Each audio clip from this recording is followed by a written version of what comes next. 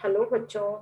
today's topic is integral calculus. In this topic, we will discuss today's surface area.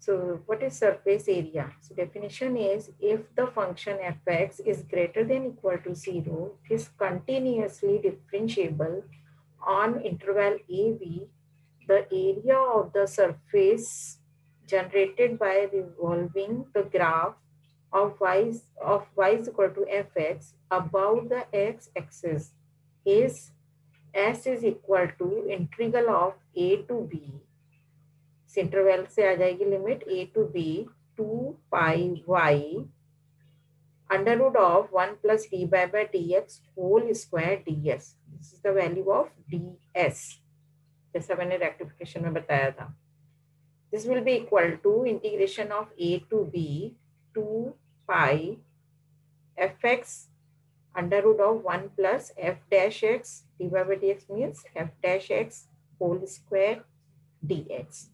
Okay so यदि ये हमारा curve x axis के about rotate करता है और उससे जो हमारा रीजन बनता है, वो इस इंटरवल के लिए हम यदि एरिया सॉल्व करेंगे। तो area of the surface generated by revolving the graph अब सपोज़ ये हमारे पास कोई एक ग्राफ है और इस ग्राफ को हम इस ये y is equal to f x graph है और यदि हम इसको एक्स एक्सिस के अबाउट रोटेट करते हैं तो रोटेशन से कुछ इस तरीके का बनेगा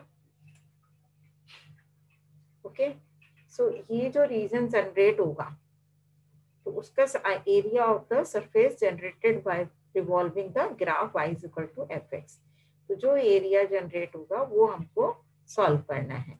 तो यहाँ पर हमें क्या ध्यान रखना है कि यदि रोटेशन एक्स एक्सिस के अबाउट है तो हम लेंगे two y pi sorry two pi y under root of one plus d y by d x whole square this is the value of d s arc length into d x okay और limit जो भी हमारा interval given है point curve जहाँ से जहाँ तक vary कर रहा है।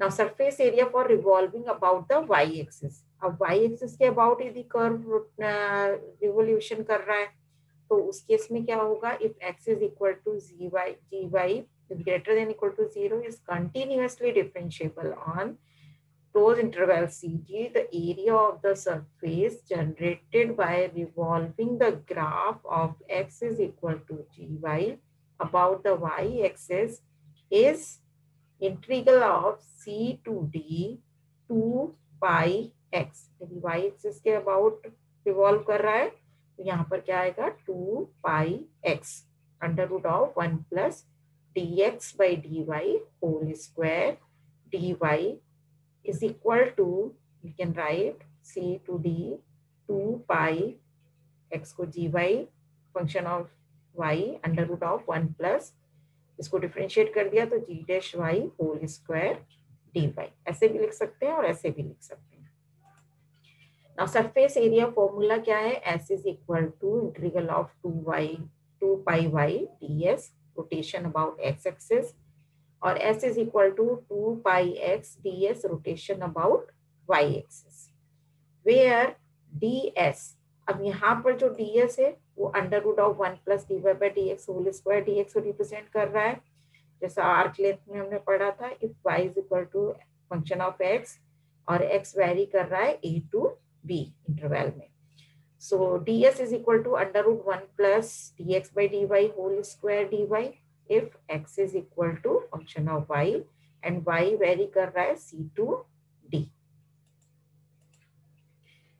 Now examples इसको समझते हैं. First example is the catenary line y is equal to a cos hyperbolic x upon a rotates around the x axis and sweeps out a surface called a catenoid.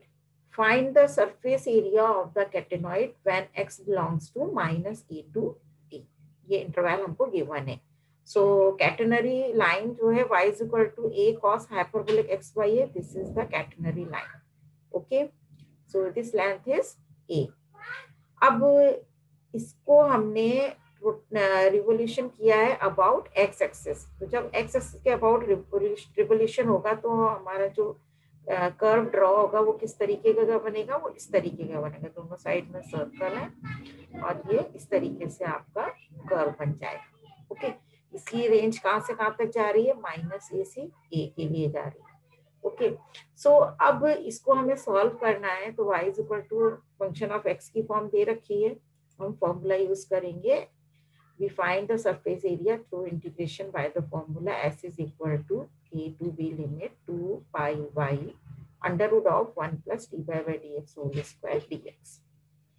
y is equal to a cos hyperbolic x upon a ये हमको given है तो हम इससे dy by dx solve करेंगे तो dy by dx की value हमारे पास आएगी a cos hyperbolic x का होता है sin hyperbolic x by a और एक्स बाई ए का वन बाई ए ए से ए कैंसिल हो जाएगा, हमारे पास केवल sine hyperbolic x by a ही बचेगा। तो ये वैल्यू हम यहाँ पर पुट कर देंगे और y की जगह a cos hyperbolic x by a लिखेंगे and limit minus a to a जैसा कि हमें गिवन है। So a is equal to two pi limit minus a to a a cos hyperbolic x by a under root of one plus sine hyperbolic x by a का whole square D x अब सम hyperbolic identities क्या होती हैं कि one plus sine hyperbolic x का whole square किसके equal होता है? कॉस हाइपरबोलिक एक्स के होल स्क्वायर के इक्वल साथ में ही कॉस हाइपरबोलिक एक्स का होल स्क्वायर किसके इक्वल होता है? One by two cos hyperbolic two x plus one के इक्वल तो इन आइडेंटिटीज का हम इसमें यूज़ करेंगे. देन हम इंटीग्रेटर इंटीग्रेशन करेंगे. So two pi is the constant term integration के बाहर ले लिया हमने. Integral limit of integral is minus a to a cos hyperbolic x by a और ये हो जाएगा cos hyperbolic x by a का होल स्क्वायर स्क्वायर रूट से कैंसिल हो जाएगा, और इससे मल्टीप्लाई होके cos hyperbolic x by a का स्क्वायर इंटू डी एक्स आएगा। अब cos hyperbolic x by a को इस आइडेंटिटी से हम लिख सकते हैं, Now we can write 1 by 2 cos hyperbolic 2x plus 1. So यहाँ पर आएगा 1 by 2 cos hyperbolic यहाँ x की जगह x बाई ए है तो हम two x by a plus one लिखेंगे। टू से टू कैंसिल हो जाएगा केवल पाई ए बचेगा। लिमिट वही माइनस ए टू ए रहेगी इंटू डी एक्स अब इसको हमें इंटीग्रेट करना है। सो so, इंटीग्रेशन हम कैसे करेंगे? Pi a as it is रहने दिया। अब हमारे पास यहाँ पे क्या था? Cos hyperbolic two x by a. तो कॉस का क्या हो जाएगा? Sine hyperbolic two x by a divided by two by a. A numerator में चला गया, इसका जो कॉफिशियंट है, टू डिनोमिनेटर में आएगा प्लस वन का हो जाएगा x limit minus a to a अब लिमिट हमने पुट करी तो ये a by two sine hyperbolic two a by a a से ए कैंसिल हो गया साइन हाइपरबोलिक टू रह जाएगा plus a minus a by two sine hyperbolic two minus a upon a a से कैंसिल हो गया, माइनस का टू आएगा, माइनस ए एक्स की जगह माइनस ए रखेंगे तो माइनस ए। फिर इसको सॉल्व किया तो ये माइनस, ये sine hyperbolic minus theta minus sine hyperbolic theta minus बाहर आके प्लस हो जाएगा a by two sine hyperbolic two ये भी a by two sine hyperbolic two तो हाफ़ और हाफ़ ऐड होके वन बन जाएगा। A sine hyperbolic two plus यहाँ पर ए और ये माइनस और minus plus a. Two a a दोनों में से कॉमन आ गया. So pi a square bracket sine hyperbolic two plus two ये क्या आएगा? आंसर आ जाएगा. सेकेंड एग्ज़ाम्पल है find the area of the surface obtained by revolving the astroid astroid की इक्वेशन होती है x is equal to cos power three t and y is equal to sin cube t around the x axis. अब जो उसका revolvation हो रहा है, वो axis के about हो रहा है। ठीक है? तो ये हमारा एस्ट्रॉइड है, जैसा हमने रेक्टिफिकेशन में भी देखा था। अब इस एस्ट्रॉइड में जिसकी जो रेंज है, वो माइनस वन से वन तक है। ओके तो सेंटर से यदि हम देखेंगे तो ज़ीरो से वन जाएगी। जब ये एक्स एक्सिस के अबाउट ऐसे रोटेट करेगा तो इस तरीके की शेप बनेगी। ये जो कर्व की इक्वेशन है, वो x is equal to cos cube t और y is equal to sine cube t है। अब ये पैरामेट्रिक इक्वेशन है तो इसके लिए हम पैरामेट्रिक इक्वेशन वाला डी का फॉर्मूला यूज़ में लेंगे। So when calculating the surface area we consider the part of the astroid lying in the first quadrant and then multiply the result by two as the curve is defined in parametric form we can write two pi y t t का function है। Y आएगा क्योंकि x x के about rotate हो रहा है। Limit वही a to b under root of d x by d t whole square plus d y by d t whole square because this is parametric equation into d t so limit अब हमारी क्या हो जाएगी? यदि हम T की limit count करें तो टी की लिमिट हमारी यहाँ से काउंट होगी वन टू यहाँ पर। तो यदि हम यहाँ से चालू करें तो ये zero degree to pi by two degree okay sine और कॉस की टर्म में है so zero to pi by two ये हमारे पास हो जाएगा y की value sine cube t under root x dash यानी कॉस क्यूब टी का डिफ्रेंशिएट करना है, यहाँ साइन क्यूब टी का डिफ्रेंशिएट करना है देन इस पूरे का हमको इसका भी स्क्वायर करना है, इसका भी स्क्वायर करना है। और ये फोर क्यों हो गया? क्योंकि हमने फ़र्स्ट क्वाड्रेंट लेके उसको टू से इनटू कर दिया। सो फाइंड द डेरिवेटिव्स अब डेरिवेटिव फाइंड करें कॉस क्यूब टी का डेरिवेटिव होगा माइनस का three cos square t cos का हो जाएगा minus sine minus sine t इसलिए यहाँ माइनस साइन आएगा। और साइन क्यूब टी का three sine square t cos t sine का कॉस हो जाएगा। सो so, हमने इसका स्क्वायर प्लस इसका स्क्वायर किया तो ये value square plus this value square value put करके दोनों का होल स्क्वायर कर दिया। ये nine cos to the power four t sine square t plus nine sine to the power four t cos square t अब nine plus nine अब दोनों में से क्या कॉमन आया? नाइन कॉमन आया। Sine square t and cos square t common आ गया। तो ब्रैकेट में cos square t plus sine square t बनेगा, बचेगा। और इसकी वैल्यू कितनी है? वन है। तो ये हमारे पास रह जाएगा three sine t cos t का होल स्क्वायर ओके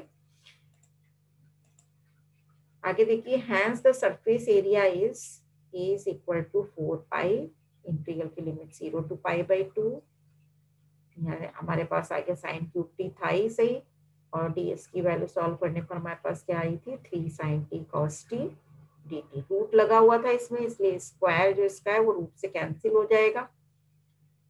सो हमारे पास केवल three sine t cos t बचेगा इंटू डी टी इसको सॉल्व किया थ्री फोर से मल्टीप्लाई हो गया ट्वेल्व पाई लिमिट वही zero to pi by two रहेगी इंटीग्रल की.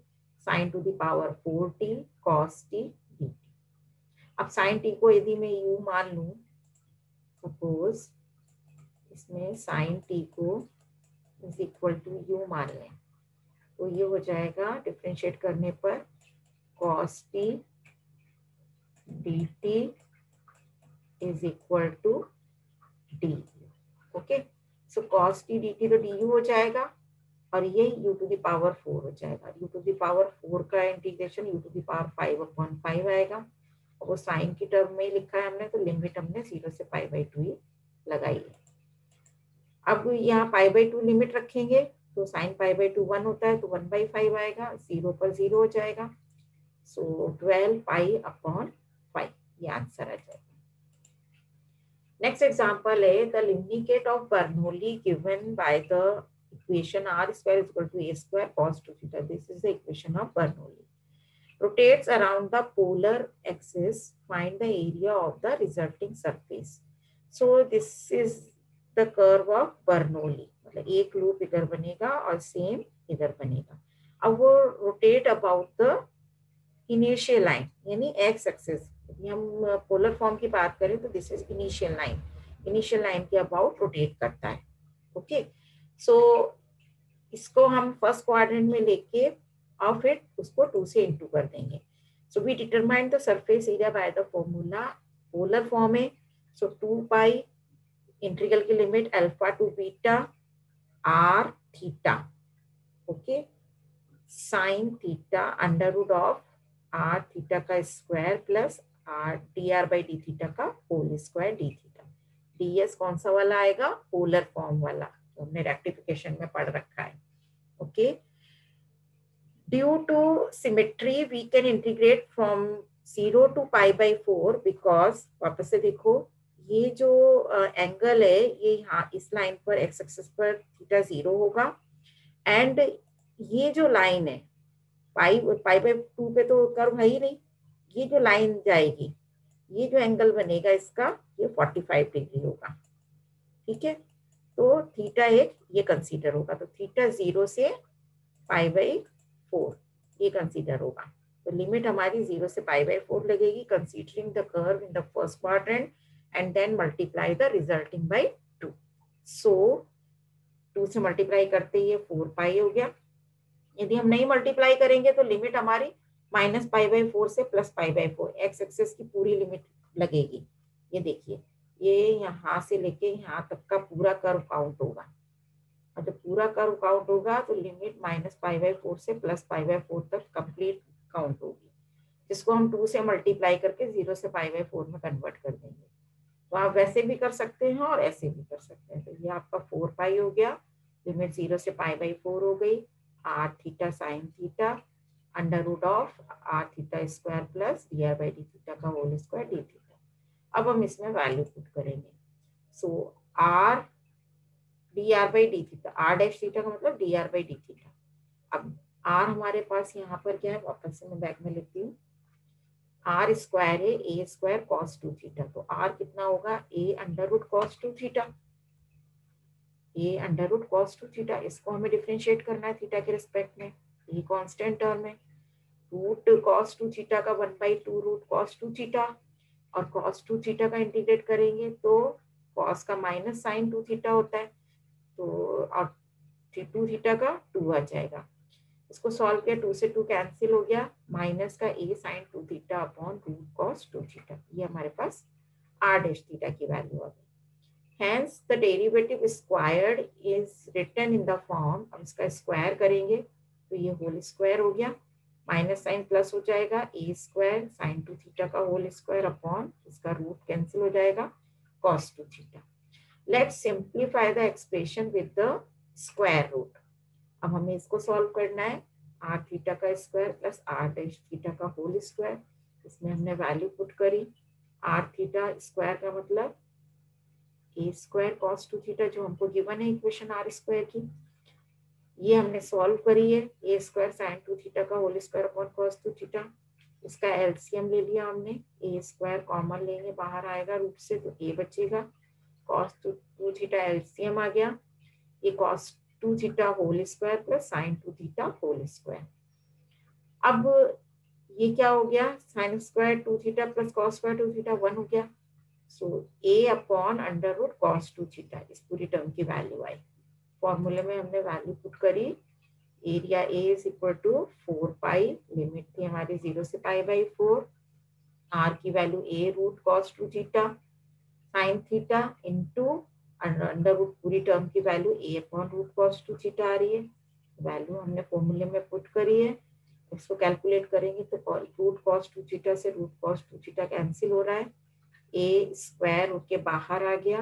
केवल साइन थीटा डी थीटा ये बचेगा। अब साइन थीटा को हमें इंटीग्रेट करना है। साइन थीटा का इंटीग्रेशन माइनस कॉस थीटा होता है। लिमिट हमारी ज़ीरो से पाई बाई फोर है और इंटीग्रेशन के बाहर हमारे पास फोर पाई ए स्क्वायर आ रहा है। जब हमने इसमें लिमिट पुट करी cos pi by four minus minus plus cos zero तो पाई बाई फोर की वैल्यू कितनी होती है? वन बाई रूट टू होती है। और ज़ीरो की वैल्यू की ज़ीरो की वैल्यू वन होती है। तो वन बाई रूट टू को root two by root two से मल्टीप्लाई करेंगे तो रूट टू बाई टू लिख सकते हैं। माइनस का ये प्लस का। सो so, इसका एल्सियम लिया तो ये two minus root two upon two two से फोर कैंसिल किया two pi a square in bracket 2 minus root 2 okay?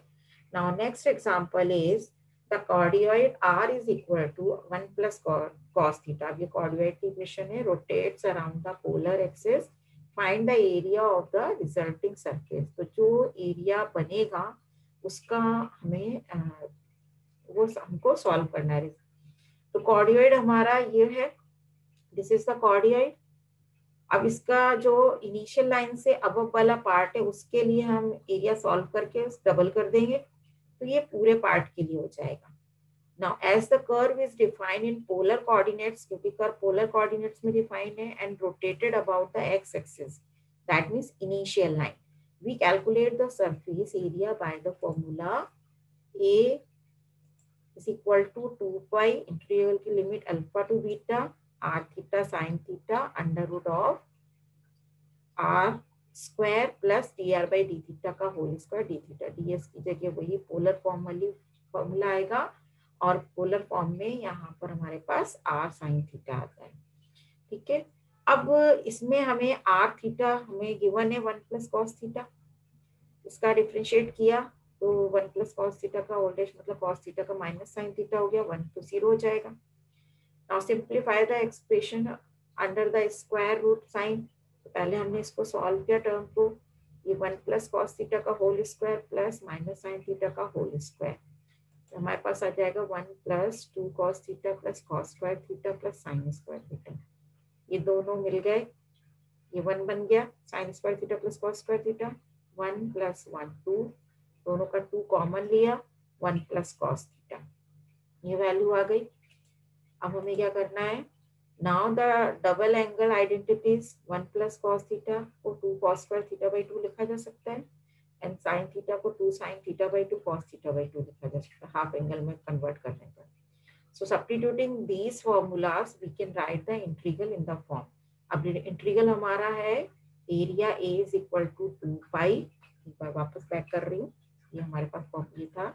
Area is equal to two pi integral alpha to beta r theta r theta हमारा one plus cos theta into sine theta और इस पूरे को solve किया हमने तो ये two one plus cos theta आया है इसका रूट आ जाएगा। ठीक है? तो ये हमारे पास आ गया। अब इसमें देखो आप आ, ये रूट टू है। लिमिट हमारी ज़ीरो से पाई ज़ीरो से पाई क्यों है? क्योंकि ये जो कर्व बनता है, ये ज़ीरो से शुरू होता है और लास्ट जो ये पॉइंट है, ये पाई पर जाता है। Theta is equal to pi पर। इसलिए लिमिट हमारी ज़ीरो से पाई रखी, लगेगी। आर की वैल्यू रख दी साइन थीटा आ गया और इस पूरी टर्म की value two one plus cos theta root में आ गई। Into two into d theta अब इसको हमें सॉल्व करना है। इसको सॉल्व करने के लिए हमने ये आइडेंटिटीज यूज़ में ली। सो so, इसको two cos square theta by two लिख दिया साइन थीटा का two sine theta by two cos theta by two लिख दिया। सेम आप यहाँ देखो इसको आप two cos square theta by two लिखोगे तो two two four four root के बाहर आएगा तो टू बचेगा। और cos square theta by two square root से कैंसिल हो जाएगा कॉस थीटा बाई टू बचेगा।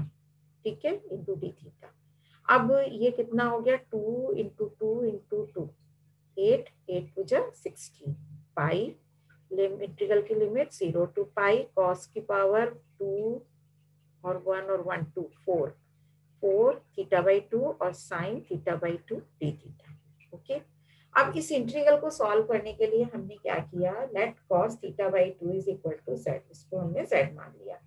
सो so, इसको जब हम इंटीग्रेट करेंगे तो ये हो जाएगा साइन थीटा बाई माइनस का sine theta by two and theta by two से वन बाई टू आ गया। D theta is equal to d z so sine theta by two d theta is equal to minus का two d z okay so यहाँ sine theta by two d theta की value हम minus का two d रखेंगे और ये z to the power four बन जाएगा। लिमिट जब थीटा ज़ीरो है तो जेड की वैल्यू वन जब थीटा पाई है तो कॉस पाई बाई टू पे जेड कितना हो जाएगा? ज़ीरो हो जाएगा। तो ये लिमिट हमारी कितनी हो जाएगी? ज़ीरो से वन हो जाएगी। तो हमने लिमिट को वही रहने दिया हमने क्योंकि अभी इसको उसी फॉर्मेट में रखा अब यहाँ चेंज कर दिया तो लिमिट हमने वन से ज़ीरो कर दी, ये कॉस की पावर फोर ये माइनस का टू डी जेड हो गया। ये टू बाहर आके थर्टी टू पाई बन गया। ये माइनस से प्लस करेंगे तो ये limit lower limit upper limit बन जाएगी और अपर लिमिट लोअर लिमिट में चेंज हो जाएगी। डेफिनेट इंटीग्रल की प्रॉपर्टी से now z to the power 4 dz इसको इंटीग्रेट करा तो z to the power 5 upon 5 limit 0 से 1 पुट कर दी। सो 1 बाई 5 यानी 32 पाई अपॉन 5 आएगा और 0 का 0 हो जाएगा। So answer is 32 pi upon 5 thank you यदि आपके कोई डाउट्स हो तो कमेंट बॉक्स में लिख लीजिए जिसने चैनल सब्सक्राइब नहीं किया है प्लीज़ इस चैनल को सब्सक्राइब करिए।